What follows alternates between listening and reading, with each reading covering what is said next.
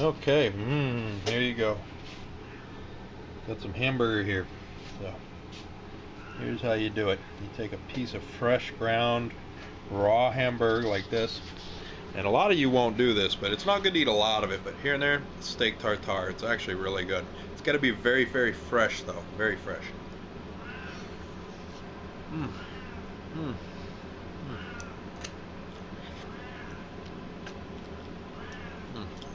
That stuff is good.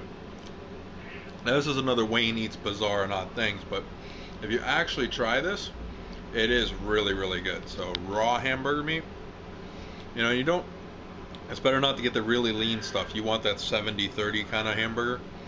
It's really, really good. Just got to be really fresh. The really lean stuff, though, it can be alright too, but it has a different flavor too if you're into that. But uh, definitely try it out, it's worth it.